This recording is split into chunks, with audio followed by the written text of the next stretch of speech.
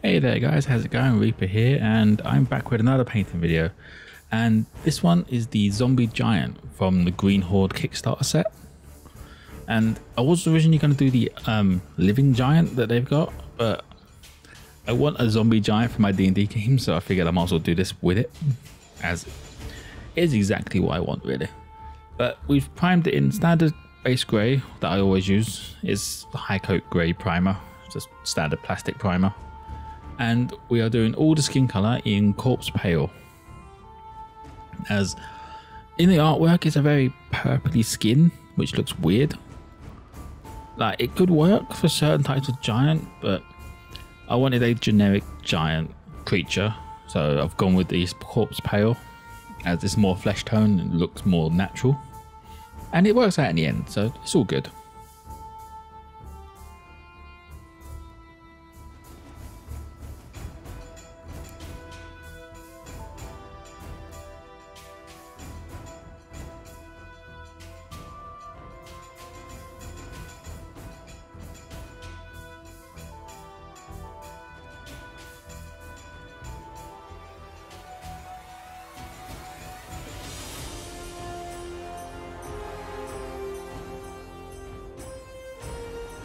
Also, I'm going to apologize now for the sort of iffy focus that we get because this creature is, well, this mini itself is three, four times the size of a standard mini that I painted.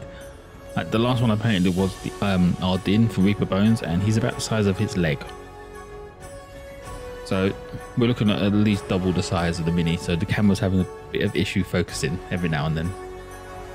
But I, I do what I can to try and fix that. It's just sometimes it might be a little bit out of focus. But the uh, but the pictures at the end will be perfectly fine in focus and they actually look really nice. But we are just finishing up on Corpse Pale now. It does take quite a while to cover this mini, as it is a large mini. But there we go. Corpse Pale requires two coats as well, so I do go back later on and do it. But for now, we've gone on to... He's got like... It's almost like a skirt, like tunic sort of thing that's only visible from there in the artwork. So I've tried to stick as close as I could to the artwork and this is a orangey color. So I've used Army Painter's Fire Lizard to do this. As it is the only orange color I have at the moment. I, it's easier to use a color that's ready mixed than to mix my own in case I don't have enough. Because that is the problem with mixing colors. Unless you are perfect at measuring them out, you probably won't get the same color again.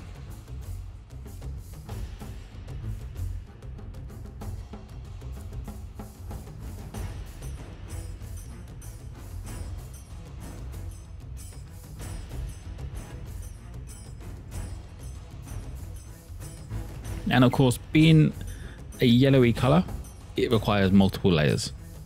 Yellow is probably the worst color to paint with because it just is almost transparent. So you have to layer and layer and layer with yellow. And I find that with oranges as well. Red's not so bad. Then we move on to the rest of the clothing, that well, rest of the non-metallic clothing, and we're using Army Painter's Army Green.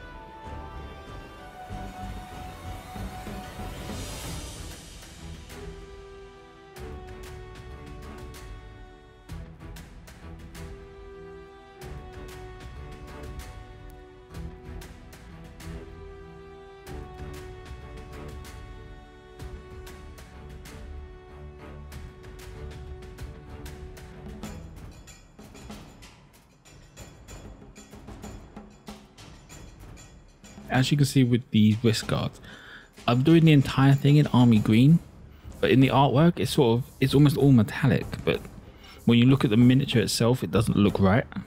Like if I did that entire thing metallic, it is just essentially a massive bracelet that won't fit over his hand.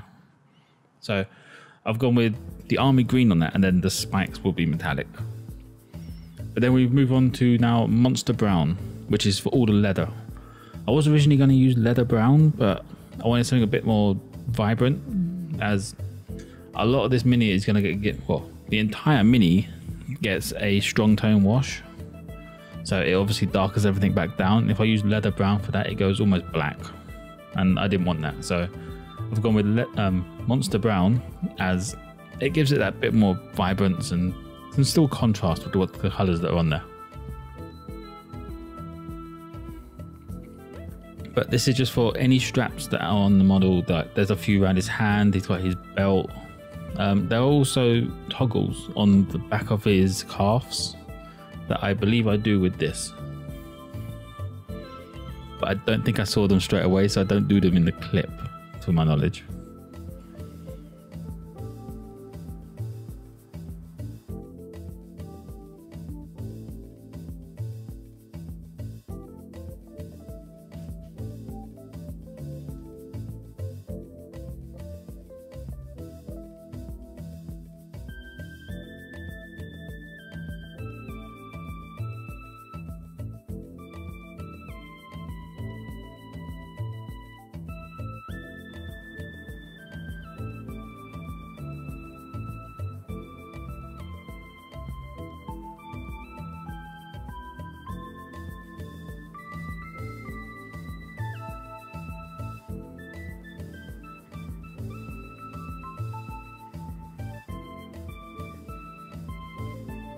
Oh, I do do them in the clip, fair enough. But yeah, that's the small toggles on there, and he has the satchel on his back, which I didn't actually notice until I started actually painting the model, because it's very well blended in with the skirt thing. But that was it for Monster Brown. Now we're on to Werewolf Fur, and this takes about six layers to do, because my werewolf fur wasn't shaken up enough when I started painting, so I just slowly worked my way through. But it's just for the beard and around the back of the head. I don't use this for anything else.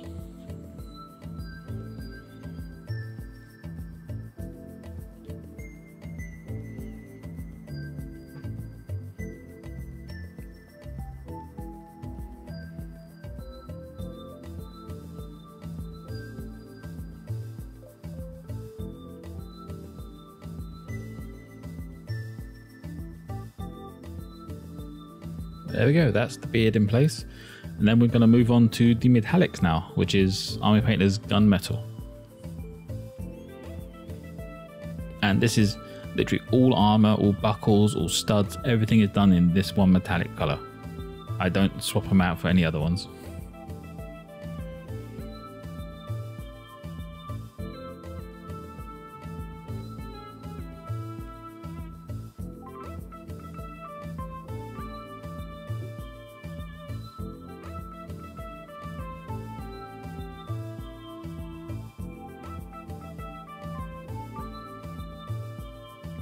He does also have some sort of, from what I can tell, there bits of sword and things that have been jammed into his leg and broken off, where other adventurers have tried to kill him, bring it down before, and they're just stuck in there. So I quickly give all these a nice metallic look, and then there is one of them that you can actually see go through skin, so I've given that a blood uh, blood color, which I'll do a bit later on.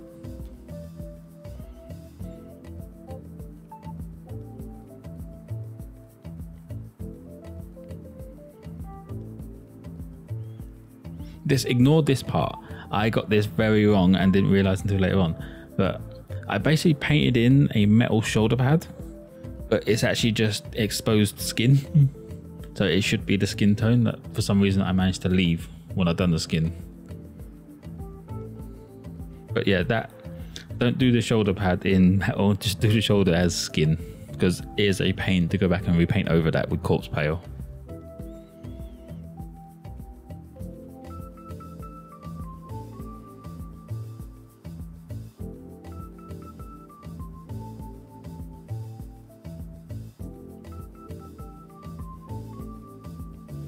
Then we move on to Desert Yellow, and this is all fingernails, toenails, and teeth.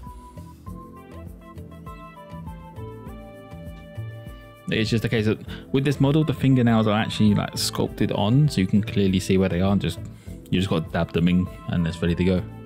And same with the teeth, because the mini is so large, it has everything sculpted, so it's easy to pick them out and just touch them up with color. I also do the eyes in this, but I come back after the wash and do them in a much lighter yellow. But now we're moving on to Crusted Sore, which is obviously in a mouth just because he has got his mouth open, you have to do a sort of pinky yellowy or pinky reddy color. But then also he has scars and cuts and things in the artwork, and the model has similar things on it. So I've quickly gone over and just dotting them in, but I do make them look a lot more prominent afterwards. It's just for now, I just paint them in, and there's the random bit of wood sticking through his shoulder. And this just it basically highlights every area that's like hurt or wounded and requires some extra work. But then we're moving on to the main part, which makes the mini. It makes the mini basically finished, but you can go on after this as well. This army paint is a strong tone. But after the wash is done, the mini is you can happily bring that to the table and it'll be fine. But I figured it's such a centerpiece mini it's time to do some highlighting. And I don't normally do it in my videos, so I'm to do it for this one.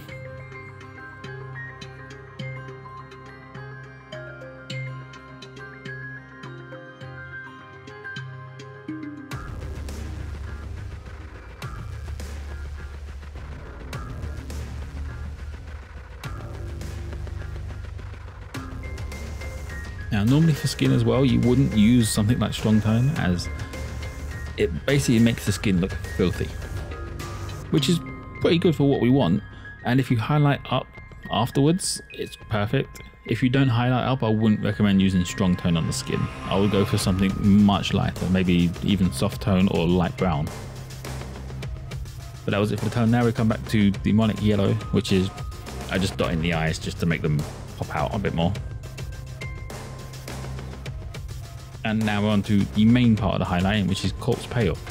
So I'm basically going over all the skin again, any raised area or area that's not recessed, I'm doing in corpse pale.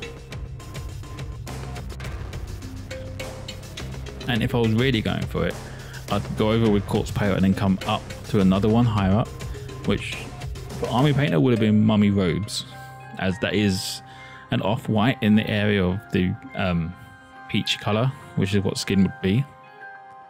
But for this, it didn't need it. Once Corpse Pale's gone on, it looked perfectly how it was.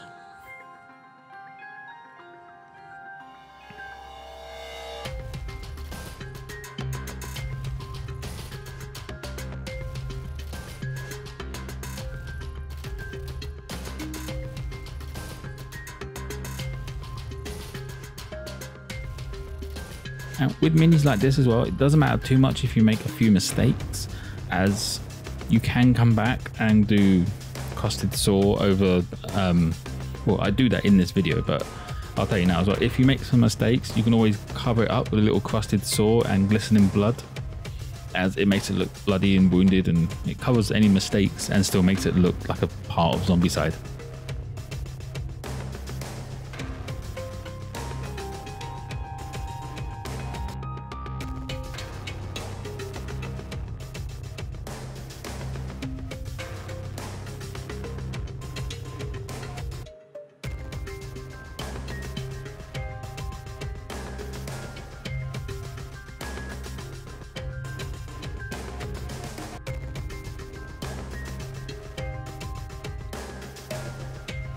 As you can see that the skin is really starting to pull itself together and it's starting to look more that realistic look but he's still got that grimy look of a zombie which is what you want.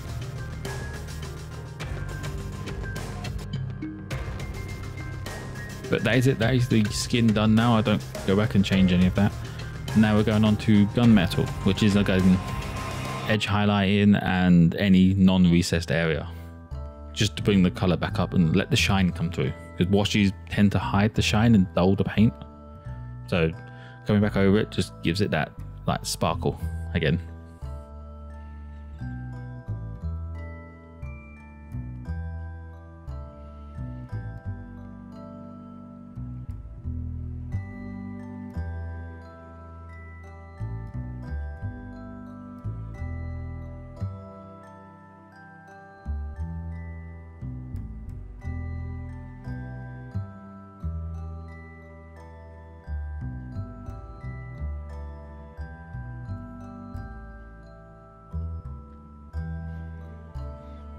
It was at this point in the model I've realized it could be finished and I could leave it like this, but I've gone so far, I might as well highlight everything back up. So I'll move on to army green and just start going back through that. It's the same process, anything non-recessed, paint it back in.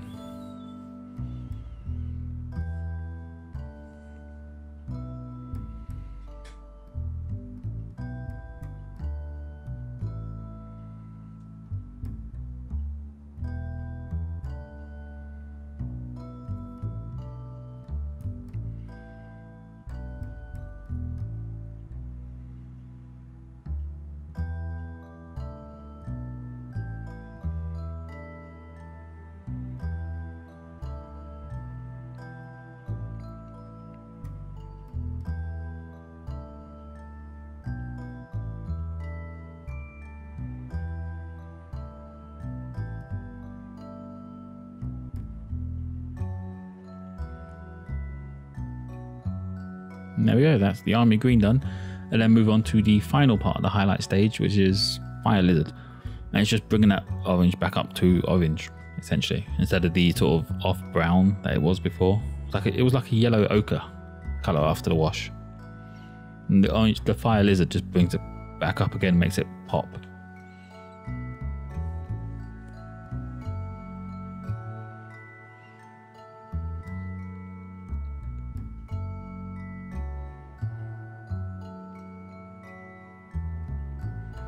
There we go. That's the base colors and the washes highlighting all done. Then we move on to the base, which is matte black. And normally this would be where I'd end the model, but as you see later on, there is another stage afterwards where I add the crusted sore and the blood and splatter and things. But if you don't want to add any of that, this is the model complete. You just varnish up and get ready to go.